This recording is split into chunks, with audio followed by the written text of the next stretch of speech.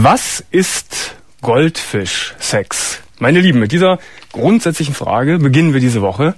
Willkommen bei Domian, willkommen beim 1 Live Talk Radio. Offene Sendung, offene Show heute Abend und meine Frage an euch. Was ist Goldfischsex? Habt ihr schon mal davon gehört? Habt ihr es gar schon mal gemacht? Wenn ihr Lust habt, mich anzurufen, mit mir zu reden, über welches Thema auch immer, über den Goldfischsex oder über irgendetwas anderes, die Telefonnummer 0130 2911 und die Faxnummer 0130 1151 22. Barbara, 51 Jahre alt. Hallo. Hallo. Barbara, guten Morgen. Ja, guten Morgen, Domian. Ich habe große Sorgen. Und zwar, mein Mann ist seit einer Woche verschwunden. Mhm. Und er ist gegangen auf eine Geschäftsbesprechung und ist nicht mehr heimgekommen. Aber ich kenne das Problem schon etwas länger, hat das schon also öfter gemacht. Und zwar ist er depressiv. Ich habe das nicht gewusst. Er ist mein zweiter Mann. Mhm. Wie lange seid, seid ihr verheiratet? Wir sind jetzt acht Jahre verheiratet und nach ach, äh, drei Jahren tauchte das auf, das Mhm. Problem. Und ich weiß nicht, was ich machen kann. Ich habe hier eine Firma und ich kann mir jetzt auch nicht an die Polizei wenden, dass man ihn sucht und ich habe einfach furchtbare Angst, dass ihm was passiert, ja. Warum kannst du dich nicht an die Polizei wenden? Weil du eine Firma hast? Ja, ich habe das schon mal gemacht und dann hat man mir gesagt, jeder kann heute frei entscheiden, wo er hingehen will oder wann er kommen will und er ist ja schon öfter mal weg gewesen und er kommt dann auch irgendwann zurück oder ruft an. Und das letzte Mal war es so schlimm, da waren ihm schon halt die Beine bald abgefroren. Es war also eine Katastrophe und ich bin mit ihm beim Therapeuten und so weiter, aber wir kriegen da keine Hilfe. Das funktioniert nicht. Also nochmal eins nach dem anderen. Er ist einige Male schon abgehauen, ist weggegangen. Wo ist Ja. er denn dann hingegangen? Er fährt mit dem Auto irgendwo hin, er versteckt sich, also er übernachtet im Auto. Und er hat mir das so erklärt, das fängt bei ihm ganz plötzlich an. Er möchte nach Hause fahren und statt dass er rechts abbiegt, biegt Mhm. er links ab, ja. Mhm. Bei ihm Kopf wäre alles wie in der Wäscheschleuder. Hm. Und wie lange war er das letzte Mal zum Beispiel weg? Äh, das letzte Mal 16 Tage. 16 Tage. Ja. Und was hat er diese ganzen 16 Tage gemacht? Hat er nur im, im Auto gelebt? Im Auto gelebt, ja, und ist dann nur im Wald irgendwo spazieren gegangen, also da, wo ihn niemand findet oder Mhm. sieht. Und daher äh, auch die, äh, dass, dass die Beine schon geschädigt waren, sagst du? Ja, er war also ziemlich fertig auch. Mhm. Er, er isst dann kaum was oder nur, wo er vielleicht irgendwo mal was kriegt. Ich weiß es nicht mehr. Er spricht dann auch nicht darüber. Mhm. Und der Therapeut kommt da nicht ran. Und jetzt habe ich mir überlegt, ob es irgendwo eine Möglichkeit gibt. Vielleicht ist die Therapeutin da im Studio. Ich brauche vielleicht eine Therapie Mhm. über Hypnose, dass man da irgendwo einen Knoten löst. Also es gibt eine therapeutische Behandlung äh, schon seit einiger Zeit. Ja. Äh, Aber ohne Erfolg. ohne Erfolg. Mhm. Hattet ihr denn mal überlegt, dann den Therapeuten zu wechseln? Offensichtlich funktioniert das ja dann nicht zwischen ihm und, und dem Therapeuten. Ja, er ist auch bevor wir verheiratet waren schon mal in der Klinik gewesen und da wurde also nur mit Medikamenten ruhig gestellt. Mhm. Das letzte Mal, als er 16 Tage weg war, das war dann wahrscheinlich auch für dich die, die Hölle auf Erden, als Ja, er so lange. Was hast du da alles unternommen damals? Ich habe alles unternommen. Ich habe äh, Polizei verständigt. Man hat versucht, ihn zu suchen, aber man macht das nur ein paar Tage und dann sagt man, man ist ja erwachsen, man kann also hingehen, wo man will und braucht da keine Nachricht geben, solange man nicht irgendein Verbrechen begonnen hat. Ja. Mhm. Und ich weiß, er muss sehr, sehr depressiv sein. Mhm. Und er ist dann von sich aus, aufgrund einer eigenen Entscheidung, dann wieder zurück nach Hause gekommen. Ja, er hat dann angerufen und hat so sehr vorsichtig am Telefon und meine Reaktion abgewartet, Mhm. weil das ist für mich auch ein furchtbarer Stress. Ich meine, es war auch so weit, dass ich selber dann auch nicht mehr leben wollte. Ne? Ja, eine ungeheure Belastung ist Ja, das. Jetzt ist er genau eine Woche weg und du hast überhaupt nichts von ihm gehört und hast auch gar keine Vorstellung, wo er sein könnte. Doch ich kann mir vorstellen, dass er im bayerischen Raum lebt, äh, ist, also nicht lebt, sondern Mhm. ist, weil er dort mal gelebt hat und auch die Berge sehr schätzt Mhm. und sehr liebt. Barbara, nun, nun sind natürlich unsere Hände hier fast gebunden, da irgendetwas zu tun. Mir fallen nur zwei Sachen im Moment spontan ein.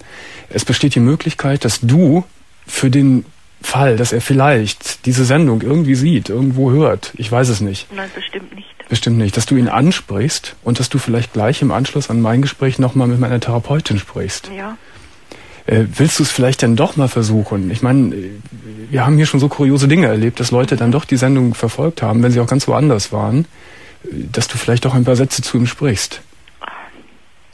Ja, ich weiß, ich denke nicht, dass er es sieht, weil er sich einfach immer verkriegt. Das ist äh, wie eine Art, ja, ich denke bald wie eine Art von, von zurückgezogen sein. Weil er sehr, hat, äh, kann sein, er ist sehr naturverbunden, ja. Hat er denn in irgendeiner Weise auch eine, eine Befürchtung, wieder nach Hause zu kommen? Du sagtest gerade, dass er angerufen hat, um mal vorzutesten. Hat er vielleicht Angst, dass du ganz negativ reagierst auf ihn? Ich habe immer sehr positiv reagiert, weil ich äh, für mich ihn unterstützen möchte, ja, weil mhm. das sind Dinge, die für mich schon, ich habe es vorher vor der Ehe nicht gewusst. Also mhm. es war drei Jahre auch gut gegangen. Mhm.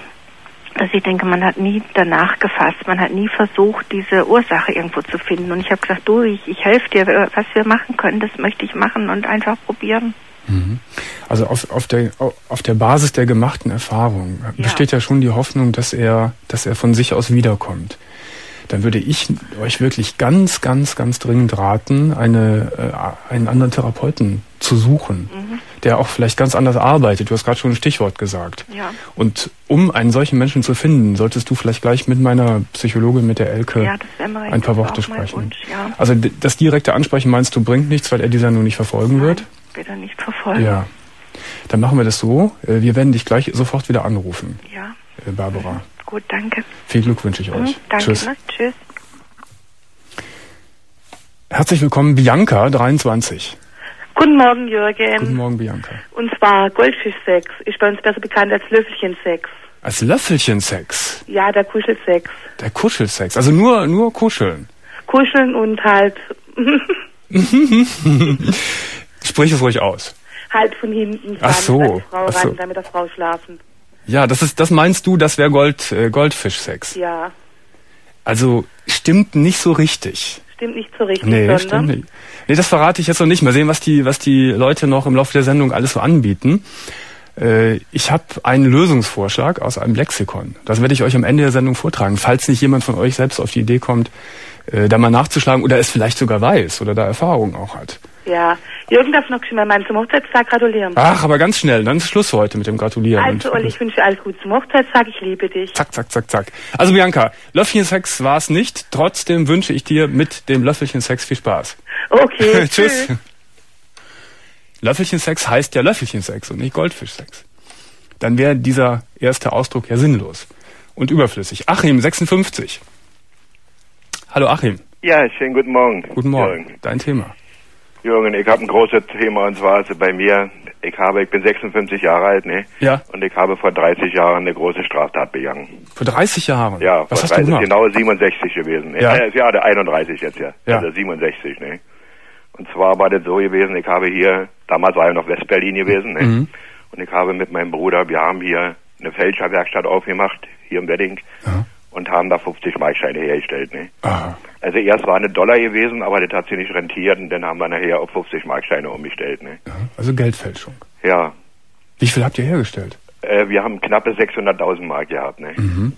Kann man sich das fast schon so, so kriminalromantisch vorstellen, ihr im Keller an einer alten Nee, das war, Maschine? naja, das, nee, das war, das war eine normale Mietswohnung gewesen im dritten Mhm. Stock. Ne? Mhm. Und wir hatten ein kleines Zimmer, das war ungefähr so 15 Quadratmeter. Mhm. Und das hatten wir mit, äh, mit Matratzen, hatten wir das ausgeschlagen. Ne? Mhm. Weil die Maschine, die hat so einen Krach gemacht gehabt. Ne? Mhm. Also wir, hatten- wir konnten nur nachts drucken. Ne? Mhm. Weil die Maschine auch unheimlich viel Strom verbraucht hatte. Ne? Nun gehört ja für so etwas ein, ein enormes Know-how. Ja. Woher hattet ihr das? Also das ist erst äh, viele Leute und die von der Zentralbank in Frankfurt bei der Verhaftung, die haben uns das ja auch nicht geglaubt, ne? Mhm. Also wir hatten uns, also ich bin vom Beruf bin ich Theatermaler, ne? Mhm. Mhm. Und also das ist eben die Malerei. Ich meine, das hat ja damit nicht so viel zu tun, aber Ein bisschen vielleicht schon, ne? Also Ja, ein Auge für Feinheiten hast du da schon. Ja. Ja. Aber wir haben uns das hier, hier in Berlin, hier gab's eine große amerikanische Gedenkbibliothek am Neuendorfplatz. Ne? Mhm.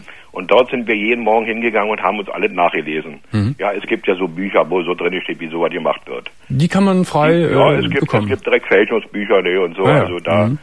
Naja, und dann haben wir uns das so angeeignet gehabt. Und dann habe ich zweieinhalb Jahre, also von 1964 bis 66, habe ich an die Madrid gestochen. Ne? Mhm. Also du, war, du warst der Kopf der ganzen. ja, äh, ich war der, ja, ich war der. Kopf der Ja. Sache Mhm. gewesen. Mhm.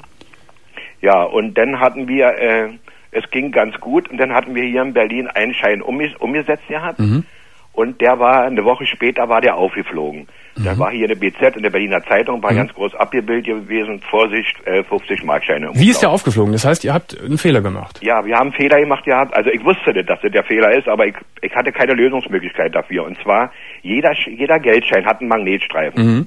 Und den hatte ich nicht drin gehabt. Ja, das aber ein gravierender Fehler. Ne? Das war ein gravierender Fehler, aber ich wusste keine Lösung. Ne? Aber das wusstet ihr vorher auch schon, dass das ein Manko war, der ja, ganzen das Geschichte. Wussten, das wussten wir, Und trotzdem seid ihr das Ris- Risiko eingegangen und habt gedacht, äh, Ja, raus wir haben damit. halt jemand losgeschickt gehabt, der hat uns ein paar Buletten geholt aus dem Imbissbude, ne? Und der kam Tatsache wieder mit dem Geld umgetauscht. Ne? Und da haben wir uns natürlich gewundert gehabt, dass das eben nicht so aufgefallen war. Mhm. Jetzt ist die eine Sache aufgeflogen. Der erste Schein äh, ist dann in die Öffentlichkeit äh, Ja. gekommen. Und, Und, dann war das so, dann hatten wir ein halbes Jahr aufgehört gehabt. ja. Und dann plötzlich, ich war mit meinem Bruder im Kino gewesen, da haben wir den Film gesehen gehabt, Der Kommandeur mit Gregor Peck, das war so ein Kriegsfilm. ne? Und das war zur Nachtverstellung um halb elf. Und plötzlich kam ich auf eine Idee. Ich sage, Gerhard, komm, wir müssen nach Hause, ich habe eine Idee. Ne? Und dann haben wir zu Hause einen Tonbandstreifen zerschnitten.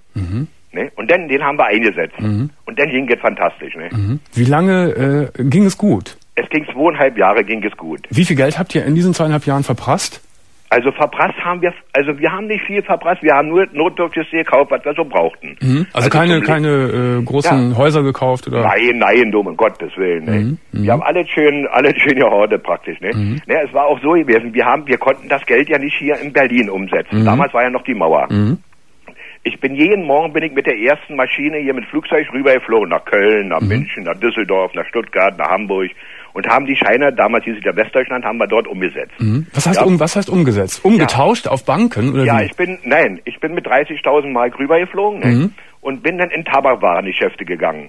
Also zum Beispiel bei euch in Köln in der Hohe Straße ne? Ja. oder in die Schildergasse Ja. in so kleinere Tabak oder am Neumarkt in kleinere Ja. Tabakgeschäfte Ja. und haben uns da eine Büchse Zigaretten geholt. Da waren damals, gab es noch in Büchsen, da waren 50 Stück drin. Mhm. Und die hatten 15 Mark gekostet. Und dann hatten wir 35 Mark zurückbekommen. Mhm. Ne? Und dann bin ich, wir hatten natürlich, jeden Tag hatten wir, dann bin ich in Hohe Straße gegangen, da, da war Woolworth gewesen Mhm. und bin bei Woolworth gegangen und habe den Koffer gekauft.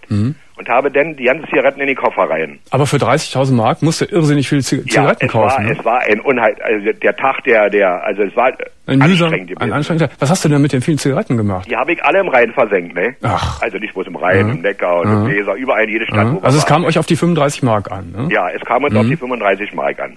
Naja, und dann war es so gewesen, äh, wo wir aufgeflogen waren, das ist das eben, warum ich nicht fertig werde. Und zwar war das so gewesen, ich bin ja morgens immer rübergeflogen. Und an den Abend, wo wir wieder fliegen wollten, bekam ich abends Angina. Ich hatte 40 Fieber, ne? Und wir hatten in unser, in unsere Sache hatten wir schon unseren Jugendfreund, den hatten wir schon mit eingeweiht gehabt. Dass der manchmal, äh, auch mal rüberfliegen sollte, umtauschen. Er war auch mit einverstanden. Er hat bei uns mit auf derselben Etage gewohnt, ne? Naja, und der Helmut, Helmut Siebert hieß der Mann, und der Helmut, der hatte dann, wir hatten es so abgesprochen gehabt, dass er nächsten Tag fliegen sollte nach Stuttgart. Ja. Und wir hatten ihm die 30.000 Mark wieder in den, Kaffee, in, in den Koffer gegeben, also so einen Diplomatenkoffer, ne? Und haben zu ihm gesagt, ihr habt also Helmut, pass auf, wenn du das Geld nicht umgesetzt kriegst, bring kein falsches Geld wieder nach West-Berlin zurück. Und das hat er uns versprochen gehabt, ne? Ja. Und jetzt war es so gewesen, er ist früh geflogen, wir haben, wir, er hat von Stuttgart aus angerufen, dass alles gut geht und er war auf dem Rückflug von Stuttgart nach Berlin und am Ticketschalter, da ist mal so eine Ablage, da kann man so Taschen abstellen und so, ne? Und er stellt die Tasche dorthin, geht nur um der Ecke, wollte sich eine Schachtel Zigaretten aus dem Automaten ziehen, ne? Und da kommt die, die, die Stewardess, die hieß Jutta Schmidt. Die kam dort an und sieht die Tasche dort stehen, nimmt die Tasche und geht Richtung Fundbüro. Und er rennt hinterher, reißt die Frau die Tasche aus der Hand und sie hat einen Schein auf der Erde. Ach, das ja wirklich wie ein Krimi. Das ist wie ein Deswegen, Krimi, ja. so ist die Sache dann aufgeflogen. Ja, und dann haben sie ihn natürlich verhaftet, ne? Ja.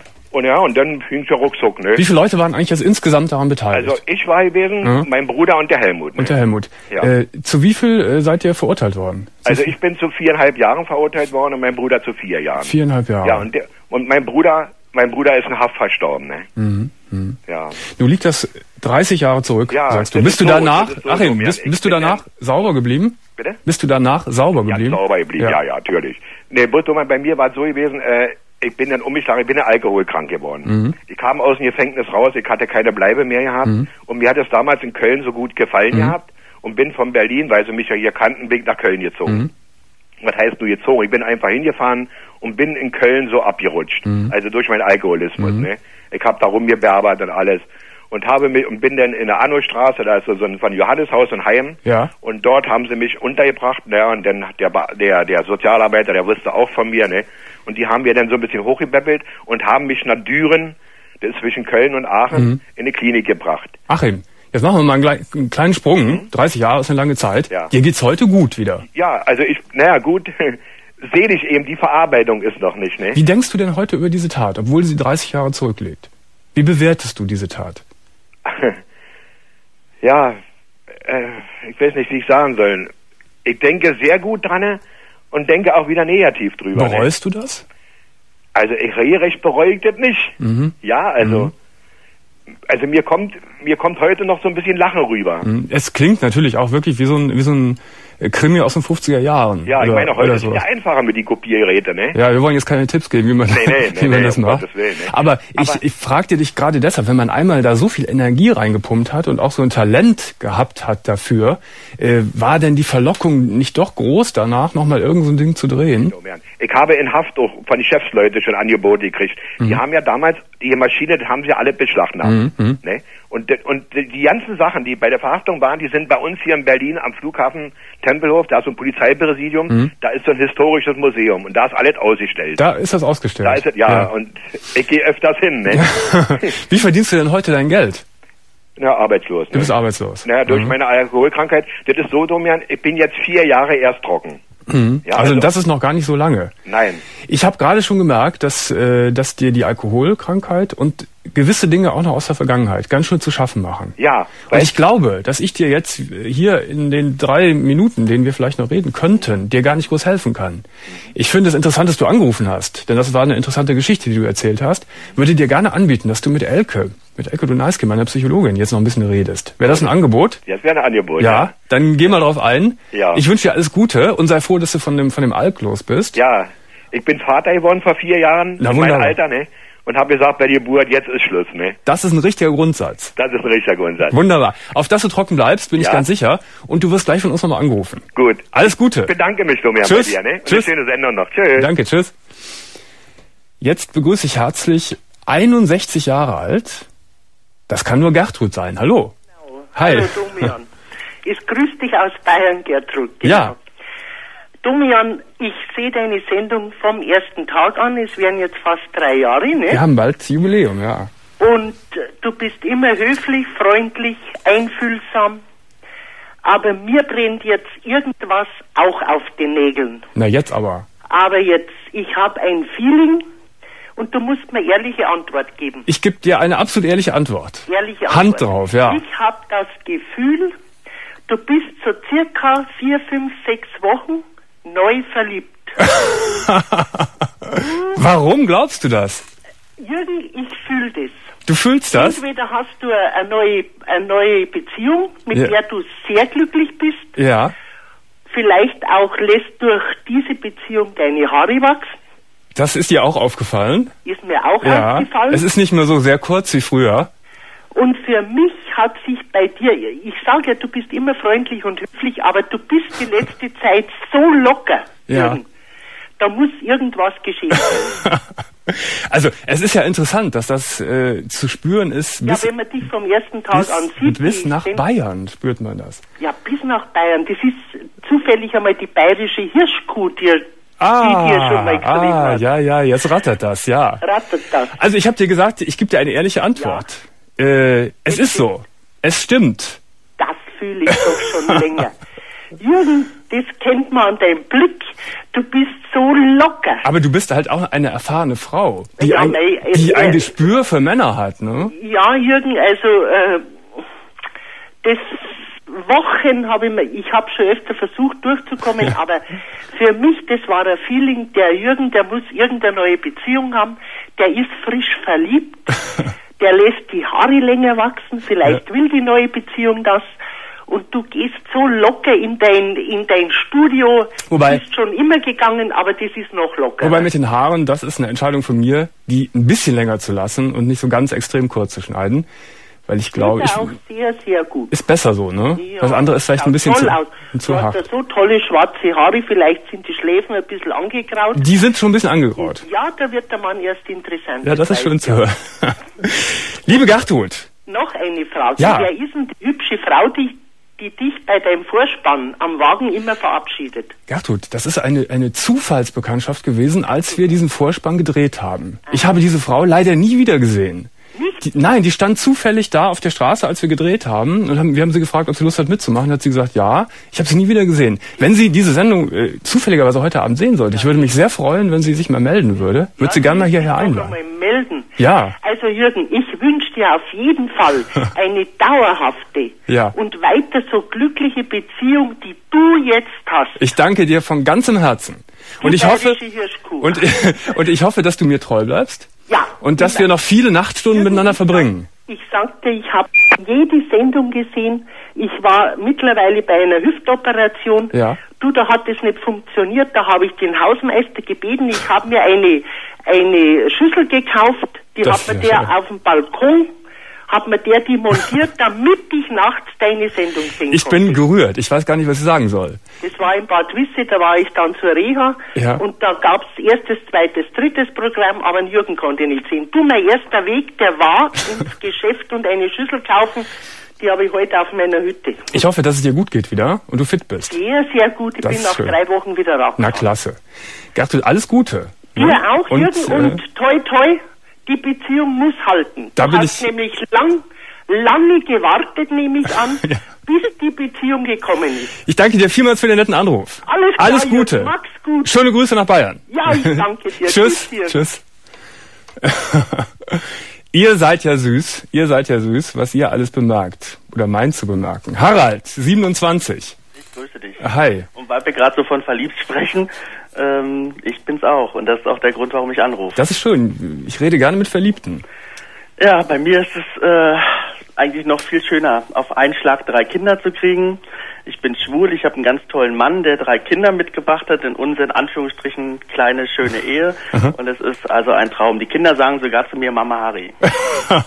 Die sagen Mama Harry zu dir. Willst du das? Ja. Mama das Harry. kam, kam von denen aus. Und das war auch, die, die waren, also das war so gewesen, ich habe ähm, meinen Mann kennengelernt und er hat dann irgendwie gleich gesagt, hier hör zu, ich habe drei Kinder und so. Für mich war das kein Problem, weil ich früher eine Beziehung hatte mit einem Mann, der ein Kind hatte. Ja. Und äh, schon drei Wochen später habe ich die Kinder kennengelernt und er hatte sie vorher so einzeln darauf vorbereitet. Erst die ganz kleine, also sind, drei Mädchen. Wie alt zwölf- sind die denn? zwölf, neun und fünf. Aha.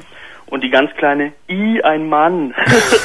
naja, und dann sind die erstmal so gekommen, waren erstmal bei mir zu Hause, Aha. ein Wochenende verbracht und es war ganz toll, ja. Und heute hat sich das so entwickelt, also wir werden jetzt demnächst fast zusammenziehen, kann man sagen. Mhm. Äh, ähm, also das, das kann man eigentlich mit Worten gar nicht beschreiben. Das ist ein ganz tolles Glücksgefühl. Wie lange bist du denn jetzt mit deinem Freund zusammen überhaupt schon? Jetzt ein gutes halbes Jahr. Ein gutes halbes Jahr. Mhm. Und das äh, kann dann sich so entwickeln, dass ihr so eine richtige Familie werdet demnächst, halt auch dann räumlich, wie du gerade gesagt hast. Ja, das war Mhm. zum Beispiel so gewesen, dass der, dass der Michael ganz cool gemeint hat zu den Kindern, wie sieht denn das aus, wenn ich einen Harry heiraten würde? Am Anfang nein, aber jetzt kam die von selbst und das war das Kuriose, deswegen rufe ich an. Gestern kam die Große und hat gemeint, naja, wenn du den Papa heiraten willst, Hauptsache ihr seid glücklich, dann ist das schon okay, ja. Also es war überhaupt nicht schwierig, den Kindern äh, begreiflich zu machen, was, was Schulsein bedeutet. Nee, ganz im Gegenteil. das hat der Michael vorher schon gemacht, oder? Nee, äh, ähm, die haben das, die sind sehr offen auch erzogen. Mhm. Sogar die mittlere, die hat sich sogar in der Schule geprügelt. Also wir waren mal auf Shoppingtour, da habe ich dann ein bisschen eingekauft und so, und den nächsten Tag in die Schule und dann, ja, wo hast denn die Klamotten her von meiner Mama Harry? Und das konnten natürlich die Mitschüler nicht verstehen. ist ein bisschen dann gab schwierig. es so ein bisschen Schlägerei und Prügelei, auch ernsthaft, die musste sogar in die Klinik äh, ärztlich versorgt werden und alles Ja. und hat uns aber verteidigt total, ja. Mhm. Denn und das wäre wär natürlich ein Stichwort auch gewesen für mich, Schule. Werden, werden die äh, Kiddies nicht gehänselt, aber die, die setzen sich durch und ja, ziehen ja, das die Ding durch. sich durch. Und das ist War ein das denn- tolles Gefühl. Glaube ich. War das denn für dich äh, bisher, hattest du immer Kinderwünsche bisher auch? Äh, ich bin in einer riesengroßen Familie groß Mhm. geworden mit sieben Kindern. Äh, ähm, also für mich persönlich waren Kinder, ich habe immer schon das Gefühl gehabt, ich könnte eigentlich eigene Kinder haben, bloß es geht halt nicht. Mhm. Ist ein bisschen ja, und dann kam halt praktisch der, ich weiß nicht, der liebe Gott hat es vielleicht gut gemeint mit mir, ja. Und dann kam es halt so. Also von eine, himmlische Fügung. Und jetzt Ein, ich halt jetzt einen hab ich tollen halt, Mann, drei tolle Kinder, Ja. groß verliebt. Ja. Was- was Eine Frage hätte ich dazu noch. Vielleicht kannst du mir da helfen. Ja. Jetzt die Sache mit der Heirat, das ist jetzt eine ernsthafte Geschichte. Gut, Deutschland ist halt eine Katastrophe, sage ich mal. Aber wie kann ich denn jetzt zum Beispiel, wenn ich jetzt in Holland oder in Dänemark bin, wie kann ich mich dann dahin wenden, wenn ich jetzt sagen will, ich will jetzt heiraten, auch wenn es jetzt in Deutschland keine Bedeutung hat? Mhm. Oder wo kann ich mich dahin wenden? Weißt du da was? Würde ich mich, also ich weiß es nicht spontan, würde ich mich an, äh, in welcher Gegend wohnst du? Ich bin in Hessen, In, Frankfurt. in, ja, Frankfurt. In Frankfurt gibt es sicher diverse schwule äh, Gruppen, Gruppierungen, schwules Netzwerk oder wie es alles heißt.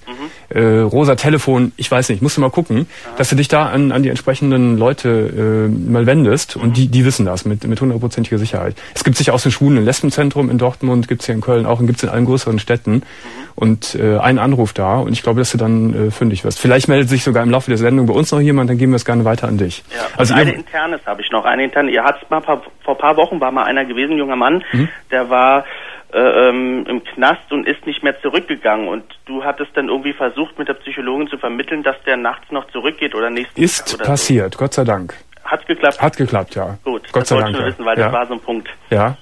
Also, ich wünsche dir von Herzen, dass du und dass ihr lange glücklich leben werdet Ich miteinander. dir auch, von ganzem Herzen. Tschüss, Harald. Alles klar, Ciao. danke, tschüss. Äh, Wolfgang. Hallo Wolfgang. Tagchen. Wie alt bist du? Darf ich fragen? Ja, äh, naja, Naja. 62. 63. 62. Ja, warum zögerst Ja. du? Das ist doch okay. Naja, finde ich gar nicht so okay, aber äh, nichtsdestotrotz. Ich wollte an sich nur eine Lösung äh, kundtun, die aber vermutlich sowieso nicht richtig ist. Ich muss ganz ehrlich sagen, ich habe ein bisschen gemogelt, Goldfischsex. äh, habe mir den Sex im Volksmund, ein Lexikon von Ernst Bornemann, der dir sicher auch ein Begriff sein Ja, wird, aber es- nachgeschlagen und da fand ich so eine ähnliche Bedeutung wie Goldfisch, äh, jüngerer Mann, zumeist Student, etwas mittellos, lässt sich von wohlhabender älterer Dame aushalten. Falsch. Ist falsch, ja. Ja. Herr Bornemann hat da nicht richtig recherchiert, glaube ich. Ah ja. Ich kann, verstehe auch nicht, warum das dann Goldfisch heißen sollte. Ja, keine wenn, Ahnung. Wenn der junge Mann sich da ausnutzt. Wer ist, wer, wer ist der Goldfisch? Der junge Mann oder die ältere Dame? ja, es wurde auch nicht näher definiert. In diesem Fall soll wohl sein, äh, der Goldfisch die ältere Dame, Ach so. die also vermögend ist. Ah ja, genau, ja. Und äh, dabei soll es sich wohl laut, laut Definition von Bornemann darum handeln, zumeist Studenten, Ja. jüngere, mittellose Studenten, die eben dann versuchen, da ihr, ihr Geld ein bisschen aufzubessern. Ich bin ja fast sicher, dass du, du bist ein erfahrener Mann, dass du das vielleicht sogar schon mal gemacht hast. Goldfischsex. Nun kann ich natürlich nicht verraten, was es ist. Du bleibst dran bis zwei Uhr Ja, ich und bleib dran. gegen Ende der Sendung werde ich es erzählen, was es ist. ja, okay. Ist auf jeden Fall interessant und wer es noch nicht gemacht haben sollte, dem könnte ich es empfehlen. Na, alles klar. Wolfgang, danke für deinen Anruf. Okay. Tschüss. Tschüss. Jetzt ist der Gerd dran. Der Gerd ist 21. Guten Morgen, Gerd. Hier ist der Gerd Hi. aus Balingen. Aus Balingen. Balingen, am Schwabeländle. Ich höre es schon an der Stimme. Ja, kannst du auf sein? Wie? Kannst du schon auf sein? Ich, ob ich auf sein kann? Ja. Was heißt das? Ob du schon fit bist, Ja, schon- ausgeschlafen? Ja, jetzt ist ja meine Primetime so Ja. geradezu. Ne? Ja. Ja. ich muss auch gleich anfangen zu arbeiten. Was musst du denn arbeiten? Ich bin Zeitungskurier. Zeitungskurier. Ja. Die Leute müssen ganz früh aufstehen. Die Ich- sehe ich manchmal nachts, wenn ich nach Hause Das fahre. stimmt, aber ich bleib auf meistens. Äh, wann, wann fängt denn deine Dienstzeit an? Die fängt um 2 Uhr morgens an, also in einer halben Stunde kann Aha. man sagen. Und welche Zeitungen kurierst du? Das sind zwei verschiedene größere Zeitungen im, Kennen wir die? Ja, Sag sie uns. äh, Werbung. Schwarzwälder Bote Ach. Wir machen Werbung für den Schwarzwälder Boten. Eine super Zeitung. und die Hohenzollerische Zeitung. ist Die auch nicht ist so noch viel besser, die Hohenzollerische Zeitung. Ja, die läuft aber nicht so gut. nee, aber mein Thema ist was anderes. Ich möchte mit dir gern übers Wetter reden. Übers Wetter. Übers Wetter, Ich ja. rede unheimlich gerne übers Wetter und wir alle reden gerne übers Ja. Wetter. Ja. Mich interessieren hauptsächlich Cumuluswolken. Was ist das dann? Das sind Gewitterwolken. Aha. Also sobald Diese ganz großen, dunklen Wolken. genau die, Ja, ja, die die, werden, die werden zwischen 5 und 10 Kilometer hoch, habe ich mal gehört. Also, Warum interessieren die dich, diese, die Wolken dich so sehr? äh, ja, mich interessiert hauptsächlich das Wetter. Ich schaue mir jeden Tag zwei, drei Mal das Wetter an, also auf Videotext oder Aha. auch so im Fernsehen und sobald Hast du auch Wetterkanal geguckt, als es ihn noch gab? Glaub- Ja, den habe ich geschaut, aber den gibt's leider schon seit einem halben Jahr lang wird er hier nicht mehr ausgesendet. Der ist auch, glaube ich, pleite im Moment. er ist leider pleite Ja. gegangen. Ja, den habe ich äh, jeden Tag angeguckt. Sag mal, Gerd, Ja. was führt denn einen so jungen Menschen wie dich äh, dazu, sich so extrem für das Wetter zu interessieren? Ja, das hat mich von Kind auf immer interessiert. Also vor allem die Blitze, wie Mhm. gesagt, mit dem Gewitter. Da, also sobald, sobald Gewitter angekündigt sind im Fernsehradio, dann stehe ich schon am Fenster, sobald das erste Und guckst dir das Donnern, an.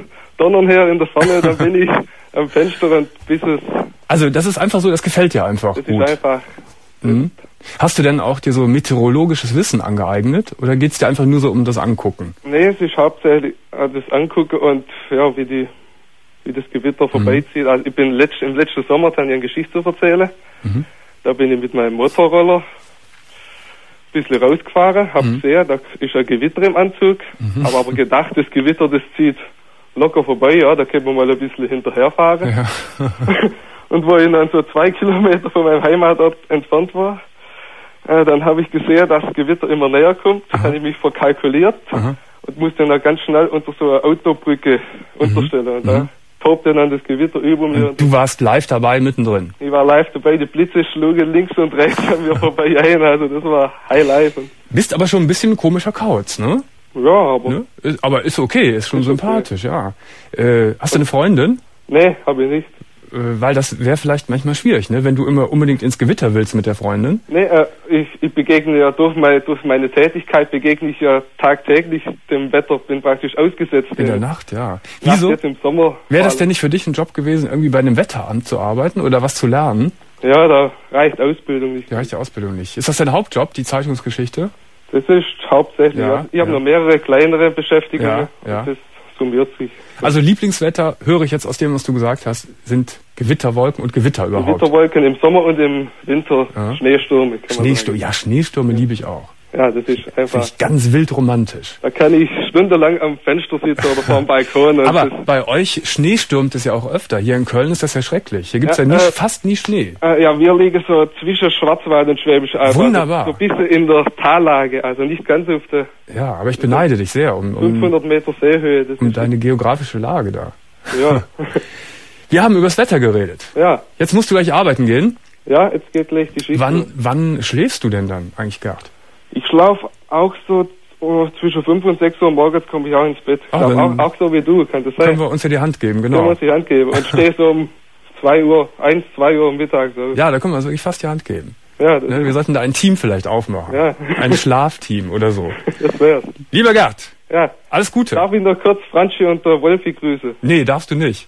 Es ist passiert. Nur ist es passiert. Okay, Tschüss, Gerd. Ciao. 1.32 Uhr, 27 Sekunden. Und jetzt machen wir Pause.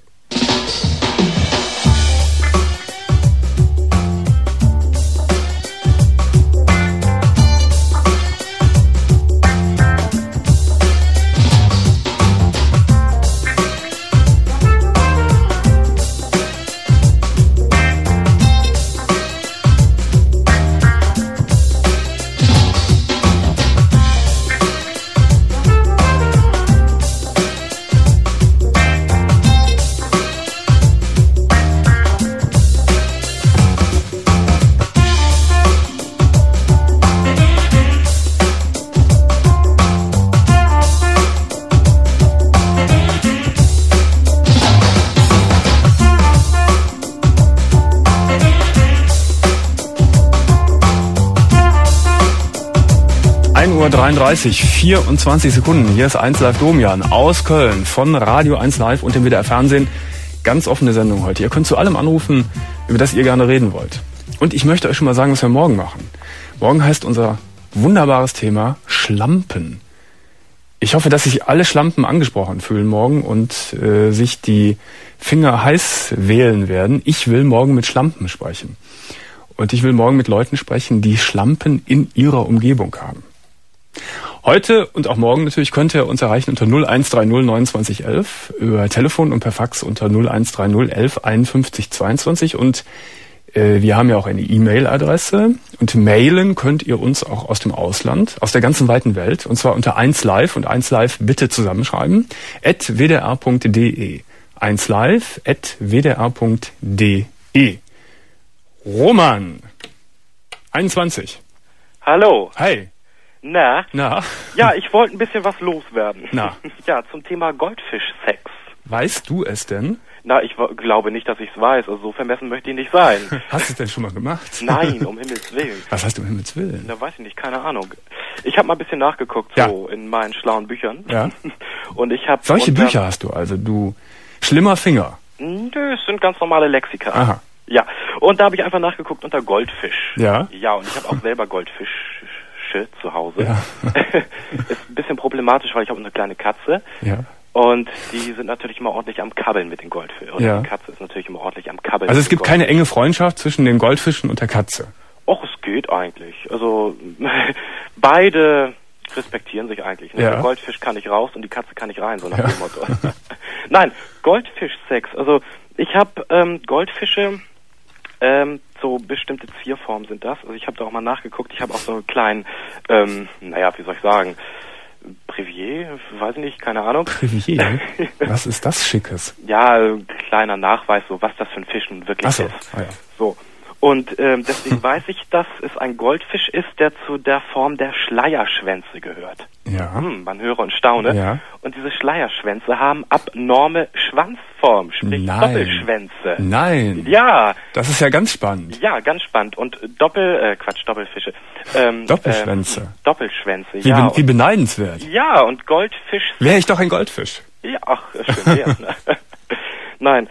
Äh, und da habe ich einfach mal gedacht, so äh, Goldfischsex, wenn ich so an meinen kleinen Schleierschwanz denke, Ja. mit seiner abnormen Doppelschwanz. Ja. Mm, Äh, Goldfischsex könnte ja wohl sein, Sex mit zwei Schwänzen, sprich zwei Herren, eine Dame oder drei so. Damen äh, oder zwei Ja, Herren ist, oder so. Ja, also diese Interpretation liegt nahe nach dem, was du da gelesen hast. Ja, ne? eben. Finde ich sehr schön mitgedacht von dir. ja, Wunderbar äh, weiter gesponnen. Stimmt auch nicht so ganz. stimmt nicht so ganz. Nee. Oh, das ist aber schade. Aber man könnte das anbieten. Man das könnte wär- das annehmen, Ja, ja. Das hat- Das hat ja sogar schon einen zoologischen Hintergrund, ne? Von das, was du gerade gesagt hast.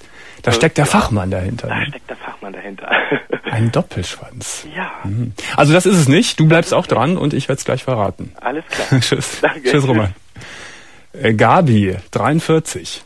Ja, Domian, guten Morgen. Schönen guten Morgen. Dein Thema. Ja, mein Thema Goldfischsex. Ach, da habe ich ja was, wieder was angerichtet hier. Ich habe auch mal in mein Brockhaus geguckt, da steht aber auch nichts Besonderes drin. Ha, heute haben wir euch wirklich äh, richtig äh, in Schwierigkeiten gebracht. Ne? Letztens bei Missionarstellen und so kamen da schon eher interessantere Angebote. Ja, habe ich schon mitgekriegt. Ich hatte das ja am Freitag gehört und dann hatte ich schon eben zu deinem Kollegen gesagt, ich habe 30 Leute am Wochenende gefragt. Ihr hattet das ganze Wochenende Zeit, das rauszukriegen. Und bisher ist da noch nicht, doll, nicht so richtig Dolles gekommen. Nein, 30 Leute gefragt. Keiner wusste, was damit anzufangen. Selbst meine Söhne, die eigentlich in einem Alter sind, wo sie es schon mal so wissen sollten, Wie alt sind die denn? äh, die sind äh, 16 und 22. Ja, da weiß man eigentlich alles, was Ja. mit Sex was zu tun Habe hat. ich angenommen, weil meine Kinder auch sehr viel rumkommen. Das sind Musiker. Ja. Und äh, Musiker wissen ja immer eigentlich angeblich sehr viel. Unglaublich viel. Das sind so schlaue Menschen. Ja, das ist richtig, ja. Und in meinem Bockhaus steht auch nur Zierfisch in China aus der Karausche gezüchtet. Ja. Goldrot aus gefleckt, braun, silberweiß. Und das war's auch schon. Also da war ich auch nicht schlauer raus. ja. Da habe ich gedacht, Goldfischsex vielleicht unter Wasser. Unterwassersex. Dann könnte es ja eigentlich Fischsex heißen, ne? Dann müsste es ja nicht Goldfisch heißen. Ja, das ist richtig. Aber Goldfisch hat man ja öfter mal so in der Wohnung. Und vielleicht, wenn man da so ein bisschen verträumt drauf guckt, dann kriegt man irgendwelche Ideen dabei. Obwohl mit dem Unterwasser ist, ist auch eine interessante Überlegung. Mhm. Hast du schon mal Sex unter Wasser gehabt? Nee, Nee. leider nicht. Wäre ja mal eine Idee, ne? Wäre mal eine Idee, wenn man eine Badewanne hätte. Wie hast du keine Badewanne zu Hause? Nein, ich habe eine wunderschöne Dusche, die mir reicht. Das geht ja vielleicht unter der Dusche auch. Nee, da geht das nicht. Man muss in der Schwerelosigkeit das machen. ja, Ne? genau. Ja, daran habe ich nämlich auch gedacht, Schwerelosigkeit Mhm. unter Wasser. Ja, äh, auch eine interessante äh, Denkanrichter, Denkrichtung, Mhm. äh, ein Anstoß, aber es ist auch nicht genau richtig. das habe ich mir fast gedacht. Aber war mal so eine Idee. Wir werden das gleich auflösen. Alles klar. Liebe Gabi, Gruß an die Söhne. ja, danke schön. Tschüss. Tschüss. Ich bin mal gespannt, ob ihr das noch rauskriegt. Äh, Ines, Ines, Ines, Ines, 32. Ja. ja, ich bin ein bisschen erkältet. Macht nichts. Okay. Mein Problem ist, äh, ich bin 32 Jahre alt Ja, und habe aber einen künstlichen Darmausgang ja. seit zwei Jahren. Wie kam es dazu, Ines? Äh, ich hatte eine schwere Krankheit, Mhm. äh, eine Darmkrankheit und da musste mir der Darm entfernt werden. Was für eine Darmkrankheit war das? Äh, die Colitis ulcerosa, das ist eine entzündliche Darmerkrankung. Mhm. Und bei der Operation ist noch ein bisschen was schiefgegangen, deshalb ich mich noch äh, mit kathedern muss. Und das ist schon also ein ganz schönes Problem, Das habe ich jetzt nicht verstanden. Was ist da schiefgegangen bei der Operation? äh, dass äh, ich mich jetzt noch zusätzlich kathedern muss. Katheter muss. Mhm. Ja. Also das heißt, die Blase funktioniert auch nicht so, wie sie funktionieren Nein. sollte. Mhm. Nein. Mhm. Du hast äh, dann auch in der Blase, äh, also zum, zum Ausscheiden des Urins auch immer so ein Beutelchen. Nee, das geht so. Ach, das geht dann so, um, du führst den Katheter ein und dann kommt Ja. es raus. Mhm, Ja, genau. genau. Ja. Mhm. Äh, mein Problem ist, dass ich da immer ein bisschen Probleme habe äh, mit einer äh, mit einer lange, längeren Beziehung, Mhm. dass halt bei sexuellen, ich meine, kommt ja dann mit dazu, dass das viele Männer abschreckt. Und da wollte ich dich mal fragen, ob du mir einen guten Rat geben kannst. Ich meine, äh, steht mir ja nicht an der Stirn geschrieben, aber es sieht halt ja auch nicht gerade sehr ästhetisch aus. Ähm, Wo hast du den Darmausgang? An der Hüfte oben? Am Bauch. Am Bauch. Ja. Da Vorne am, am in Nähe des Bauchnabels. ja. Mhm. Mhm. Äh, du sagtest, dass da geht es um eine langjährige Beziehung. Also du, da, Ja, du, ich hatte eine langjährige Beziehung Mhm. und die ist dadurch halt mit in die Brüche gegangen. Ach so, das war also ein Freund, den du vorher hattest und nach der Operation hat er dich deshalb dann sitzen lassen. Näher auch mit, ja. Mhm. Weil ich halt doch ein bisschen kränklicher veranlagt bin. War das nicht sehr traurig für dich und äh, sehr schmerzlich, dass dich wegen der Krankheit dann der Mann hat alleine gelassen? ja, auch mit, ja. Mhm. Hast du denn seitdem schon ähm, dich nochmal verliebt, seitdem du den künstlichen Darmausgang hast? Ja, doch. Und gab es da auch sexuellen, äh, sexuelle Kontakte? Äh, Ja, aber die sind halt nicht von langer Dauer. Mhm. Jetzt beschreib mir doch mal überhaupt, wie das dann funktioniert. Also äh, hast du immer diesen, diesen, ähm, diesen Auffangbehälter am Bauch? Ja. Oder kannst du den auch abnehmen und also für die für die Zeit, während du Sex hast, dass der Behälter weg ist? Das geht nicht. Nee, da ist immer so ein kleiner Beutel dran, Der- aber im Prinzip behindert er eigentlich überhaupt nicht. Wie groß ist der Beutel? Wie groß muss man muss man sich den vorstellen? Ungefähr so 10, 15 Zentimeter. Also der ist nicht groß, also Nö. 10, 15 Zentimeter. Ja. Das heißt, wenn man mit dir schläft, äh, muss man halt sich dann daran gewöhnen, dass auf deinem Bauch dieser Beutel oder der Behälter ist. Ja. Mhm. Und dass äh, du sagst, dass, dass du auch äh, den Katheter einführen musst, um, um den Urin auszuscheiden. Ja. Das behindert dich aber in deiner Sexualität nicht. Nein. Das kannst du vorher machen und dann ist das Ja. äh, ganz normal dann alles. Okay, ne? ja, Mhm. genau. Wenn du Männer kennenlernst, äh, du hast gerade so eine Andeutung gemacht, sagst du denen das schon rechtzeitig oder lässt du es dann auf den Moment ankommen, wo ihr ins Bett geht? Ne, eigentlich schon vorher. Mhm. Mhm. Und wie sind da bisher die spontanen Reaktionen gewesen? Äh, Zurückschrecken? Ja, doch, abschreckend. Mhm. Mhm. Ich glaube, äh, das ist traurige Wahrheit, Ines, dass du wahrscheinlich oft mit solchen Reaktionen immer wieder, wieder rechnen, äh, rechnen musst. Äh, Ich kann dich aber wirklich nur ermutigen und auch darin bestätigen, äh, dass du das den Männern sagen solltest und dass du vor allen Dingen dich nicht äh, klein kriegen lassen sollst f- vor diesen negativen Reaktionen. Nee, das eigentlich nicht. Ich habe ja selber damit keine Probleme. Ja, Also, eben. Und ich bin fast sicher, ich bin ganz sicher, dass, dass über kurz oder lang wirst du einen Mann treffen, der äh, sagt, ich liebe die Ines, so wie sie ist. Und dann ist es auch egal, wenn, wenn sie halt äh, da halt ein bisschen anders ist als, als andere Frauen. Ach so? Das glaube ich schon. Ich glaube schon. Ich bin da wirklich ganz großer Hoffnung. Naja, aber ich bin ja der Meinung, man muss das schon vorher mit offenen Karten spielen. Ja, das, also, das denke ich auch, ja. Du darfst, du musst nur damit schon rechnen, dass du immer wieder auch ähm, wirklich unangenehme Reaktionen von Männern bekommst oder distanzierte Reaktionen. Damit musst du wahrscheinlich leben, wenn man, wenn man so eine Krankheit hat. Oder wenn man, wenn man so etwas Ja, hat. jetzt geht's mir ja wieder gut. Mhm. Ne? Also, Gut, das ist keine Krankheit, also wenn das halt jetzt so ist wie bei dir. ja. Aber du wirkst ziemlich paurig, das gefällt mir. Bleib so wie du bist. Ja, Und ich wünsche dir von Herzen, dass da bald ein guter Mann kommt, der dich so von ganzem Herzen liebt, wie du jetzt bist und wie du lebst. Ja, danke. Alles Gute, Ines. Ja, danke. Tschüss. Tschüss. 15 Jahre alt.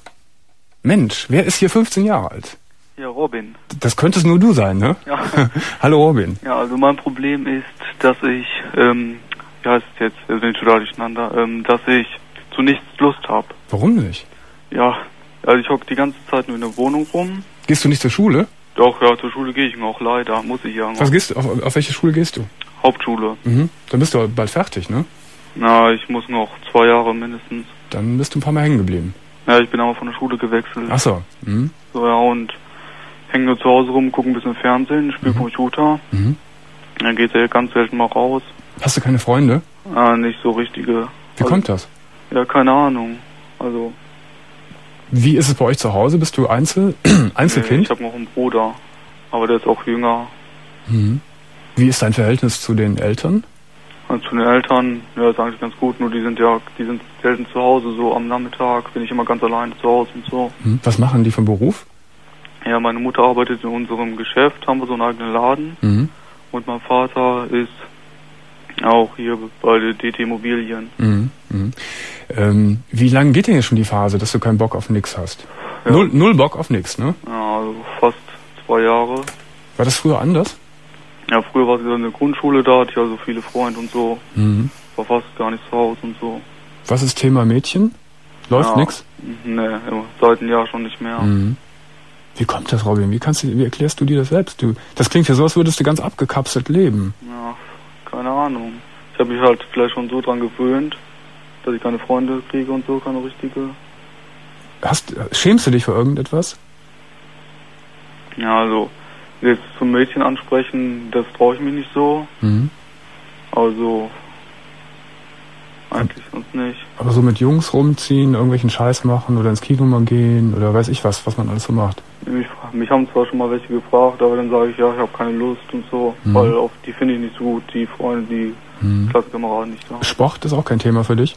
Sport, ja nur in der Schule mache ich gerne, aber so. Also in Sport, Sportverein gehen wäre nichts für dich. War ich schon mal, bin ich dann wieder rausgegangen, weil ich keinen Bock hatte, dann immer Samstag wegzufahren und so. Interessierst du dich für Fußball? Für Fußball, ja, so ein bisschen. Auch nicht so richtig. Also selbst spielen wäre auch nicht das Nee. Richtige für dich. Aber du fühlst dich dann zu Hause auch nicht so wohl, oder? Findest das, findest das gut zu Hause? Das ist scheiße, wenn man immer so alleine ist. Mhm. Abzuhängen, langweilig, immer Fernsehen zu gucken. Ja, schon langweilig. Mhm. Was ist denn so dein, dein, dein, was sind deine Pläne? Zwei Jahre, gut, ist noch eine Weile hin, aber was möchtest du mal machen später? Ja, hatte ich noch keine richtigen Gedanken drüber. Vielleicht mal bei meinen Eltern im Laden mitarbeiten, vielleicht. Also eine Lehre willst du machen? Ja. Mhm. Du musst den Arsch irgendwie hochkriegen, Robin. Mhm. Und äh, ich glaube, das kann man auch nur, das, da wird ja keiner richtig bei helfen. Da musst du selbst irgendwas dir überlegen, dass du selbst irgendwas machst. Und wenn du auch, also ich glaube, man muss da manchmal gegen sich selber angehen. Ich habe den Eindruck, dass du dich auch ziemlich gehen lässt. Dass du, du hast null Bock und hängst einfach ab. Und äh, du brauchst einen Tritt in den Hintern, aber den musst du dir selbst verpassen. Weil das Leben einfach angenehmer ist, wenn du unter Leute kommst. Versuch doch einfach mal äh, ein bisschen Kontakt aufzunehmen zu denen. Es muss irgendwelche Leute in deiner Schule, in deiner Umgebung geben, die du einigermaßen nett findest. Ja. Findest, gibt es, ne? Ja. So, da kannst du doch von dir aus mal den, Vorschlag machen, komm, wir machen mal was zusammen. Weiß ich nicht, Kino, irgendwas, was euch interessiert. Ja. Und das wäre vielleicht der erste Schritt, einfach mal ein bisschen so raus in, in die Welt. Und dann ist es auch einfacher, vielleicht mal Mädels kennenzulernen. Jetzt, aus der Situation aus Mädels äh, kennenzulernen, kannst du, glaube ich, vergessen. Ist, ist viel zu schwierig. Du musst, ein ganz, du musst das in ganz kleinen Schritten machen. Du musst dir was vornehmen. Du musst dir einen richtigen Plan machen. Also die nächsten Tage unternehme ich das und das und das und versuche da mal was zu machen. Ja. Das wird dir einfach besser gefallen. Wenn das am Anfang auch schwierig ist und für dich vielleicht auch eine Überwindung darstellt, hinterher ist es gut, glaub's mir. Dieses Einkapseln macht einen einsam und das ist alles, alles Mist, letztendlich. Also mach dir einen Plan für die nächsten Tage, für diese Woche schon und äh, spring über deinen eigenen Schatten und äh, mach, verabrede dich mal mit irgendeinem Kumpel, den du einigermaßen gut findest. Mhm. Okay, f- versuchst du mal. Ja, okay. Alles Gute. Ja, danke. Tschüss. Tschüss. Inge. Stimmt das? Inge, 59. Ja, Guten Morgen, Inge. guten Morgen. Ja, ich rufe an zum Thema Brustverkleinerung. Ja. Da ist am Montag, letzten Montag eine Dame gewesen, mit 18 Jahren hat die sich die Brust verkleinern lassen. Und dann am Mittwoch hat ein junger Mann äh, seine Frau fotografiert bei der Operation. Mhm. Und diese beiden Fälle sind ja eigentlich sehr gut ausgegangen. Mhm. Nun habe ich das Problem, dass es überhaupt nicht gut ausgegangen ist. Ich Du hast auch eine solche Operation gehabt? Ja, Aha. jetzt im vergangenen Jahr im Juni. Ja. Und der Arzt hat mir da so Versprechungen gemacht und die Brust, die sieht jetzt hinterher fürchterlich aus. Hattest du auch eine, eine sehr große Brust? Ja, ich hatte, äh, das ist äh, 95 DD, das Mhm. ist schon sehr groß. Das ist sehr groß, ja. und äh, die rechte Brust war in den letzten anderthalb Jahren doppelt so groß geworden als die linke. Doppelt so groß. Ja. Und das schneidet dann ja die Träger ein und alles menschenmögliche, Rückenschmerzen und was dazu kam und da hat die Krankenkasse das bewilligt. Mhm. Und dann wollte ich eigentlich nur die eine Brust der anderen anpassen lassen. Mhm. Ja, und dann meint der Arzt, ach, ich mache Ihnen da einen ganz ästhetischen Busen und Brustwarzen versetzen und, und, Mhm. und. Naja, und dann habe ich mir das überlegt, habe mit der Krankenkasse gesprochen und die meinte dann auch, ich sollte beide Seiten machen lassen. Sie würden das jedenfalls genehmigen. Ja, und jetzt im Nachhinein habe ich noch zwei grundverschiedene Brüste. Eine spitze, eine runde, größere Hängebusen. Mhm. Also die Verkleinerung, die, das hat, das hat funktioniert. Also sie, Ja. sie sind viel kleiner, aber sie sind ganz unterschiedlich und sehen überhaupt nicht schön aus, so wie du Nee. es dir gewünscht hast. Nee, Ja. Die eine steht ganz spitz wie, wie bei so einem 18-jährigen Mädchen Mhm. und die andere ist, ist, ist ein Hängebusen, kann man sagen. Ne? Was sagt denn, du warst ja sicherlich auf, bei mehreren Nachuntersuchungen, was sagt denn der Chirurg? Ich soll mir einen anderen Chirurgen suchen, der geht da nicht mehr bei. Das hat er gesagt. Ja. Wie, wie be- bekennt er denn quasi, dass er da einen Fehler gemacht hat da? Nein, er sagt, das wäre eine sehr schwierige Aufgabe gewesen, sagt er jetzt im Nachhinein. Mhm. Und äh, dass er da nicht nochmal wieder beigehen würde. Und du bist natürlich sauer und ja, ich habe eine hab ne Narbe, nicht sonst, so wie ich das kenne, wird das so rund unter dem Busen direkt geschnitten. Mhm. Ich habe von der einen Seite, also unterm Arm bis zur anderen Seite unterm Arm, quer unter dem Busen einen Schnitt. Mhm. Der ist über 50 Zentimeter. Dann irgendwo habe ich am, am Ende der Narbe an beiden Seiten eine Falte eingenäht, Mhm. was so ein richtiger Bakterienherd ist. Mhm. Und da, da muss was dran gemacht werden. Mhm. Ich bin auch jetzt noch bei zwei Ärzten gewesen. Der eine sagte wieder, ja, gar kein Problem und das mache ich. Mhm. Da könnte ich jetzt im März schon wieder ins Krankenhaus. Mhm. Aber du bist vorsichtig und hast Misstrauen. Ja, Ja. ich habe mir dann über die Vereinigung der deutschen plastischen Mhm. Chirurgen so eine Broschüre kommen lassen und da stehen von ganz Deutschland die Ja. Ärzte drin Ja. und bin dann nach Essen gefahren und der Arzt sagt auch, also bevor nicht ein Jahr vergangen ist, Mhm. geht er da sowieso nicht dran. Mhm. Die Narben müssen erst ganz, ganz verheilt sein. Mhm.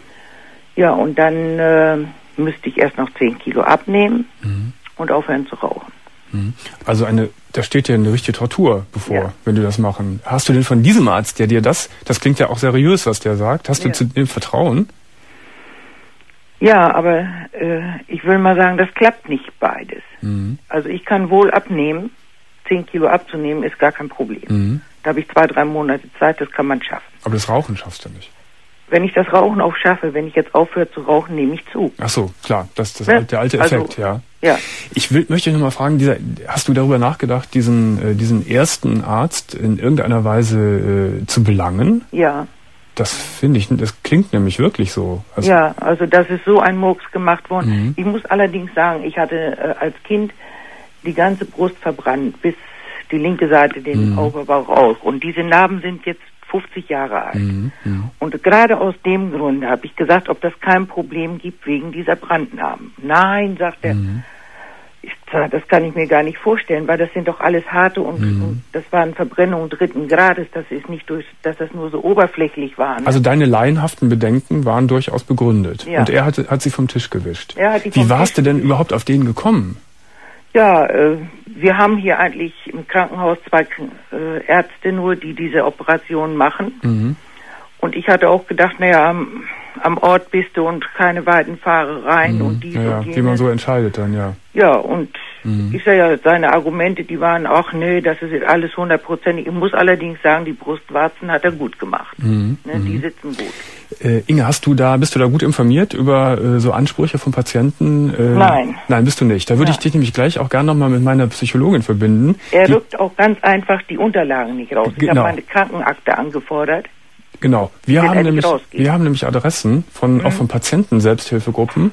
Äh, es gibt in Deutschland zahlreiche Gruppierungen, die sich mit Kunstfehlern beschäftigen von Patienten. Die würde ich dir gerne anbieten. Oh ja. Damit du äh, da gute, gute Kontakte findest und beraten wirst vor allen Dingen, nachdem du Mhm. schon einmal jetzt reingefallen bist. Ja, Äh, dann machen wir es so, du legst jetzt gleich auf. ja. Elko ruft dich an und sie wird dich dann mit den entsprechenden Daten und Adressen und Telefonnummern versorgen. Okay. Ähm, aber auf jeden Fall habe ich schon raus, das würde ich dich gerne noch fragen. Äh, du möchtest auf jeden Fall gerne äh, noch eine Operation machen lassen, um das schon zu regulieren. Ja, Mhm. weil auch diese, diese Falten, die an der Seite eingenäht sind, die können nicht bleiben. Wenn das, das- jetzt im Sommer heiß wird, Mhm. das ist immer feucht. Ist das, das ist auch, ein regelrechter Bakterienherd. ist das auch entzündet im Moment? Nein, im Das Moment nicht, Mhm. aber ich schätze, dass das im Sommer kommt, wenn man viel schwitzt. Die Gefahr besteht, ja. Ja. Mhm. Und es hat auch sehr lange gedauert, bis überhaupt die drei Stellen, da laufen jetzt drei Nähte zusammen, jemals Mhm. von der Seite und in der Mitte wird das ja Mhm. auch geschnitten bis zur Brustwarze hin. Also dein Fall ist jetzt auch nochmal ein gutes Beispiel dafür, für alle anderen betroffenen Frauen, bevor Ja. sie sich unter das Messer legen, gut zu suchen und gut Ja. zu recherchieren, dass sie Es- auch wirklich einen ordentlichen Arzt finden. Kommt wirklich auf einen kompetenten Arzt. Unbedingt, ja. Ja.